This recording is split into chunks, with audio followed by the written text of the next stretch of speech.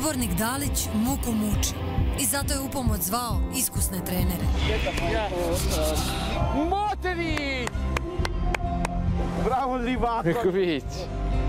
Čovjek koji ne zaboravlja dana obećanja. Žive nogomet, evo, nakon sloge došli u reprezentaciju kako smo obećali. Raketić. Bog, bog, bog. Ja mislim da im je srce ovoliko. Ja to nam mogu niti spati. Provjereno u četvrtak u 23 sata na Novoj TV.